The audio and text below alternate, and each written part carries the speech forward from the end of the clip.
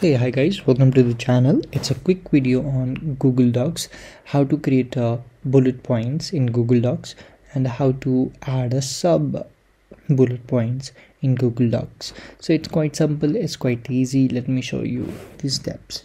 Here is the sample. Let me delete this and let me create from, from scratch. So suppose you have a heading and this will be the uh, our main bullet point. So what I can do I can click on this bullet listed icon and this will be converted into the list.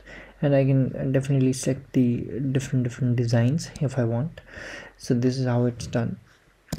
The point is there now I will simply press enter now I'm creating a subheading. For subheading now if I wanted this point to be a subheading in that case I will simply press tab in my keyboard. Press tab and this is subheading.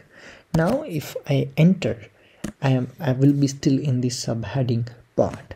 So this will be my second subheading. This is uh, so I can write down second subheading and please watch it full video otherwise you will miss a lot of things. Uh, now this is second subheading. Now suppose I want to add something inside the second subheading maybe something. So I will simply press enter and once again press tab. And now I'm inside the second subheading and here I can simply write down point one enter point two so this is how it's done.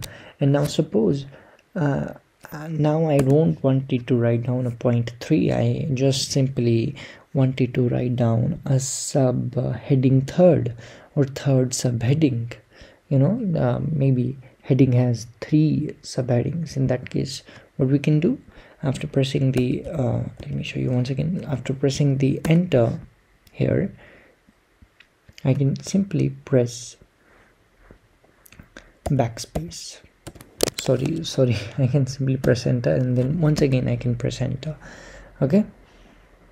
So uh, you just need to press two times enter in this case and this is my third sub heading now if i press enter i will be inside the third subheading. If uh, if i wanted to add something inside this one i will press enter once again and then it will be uh, start working for this.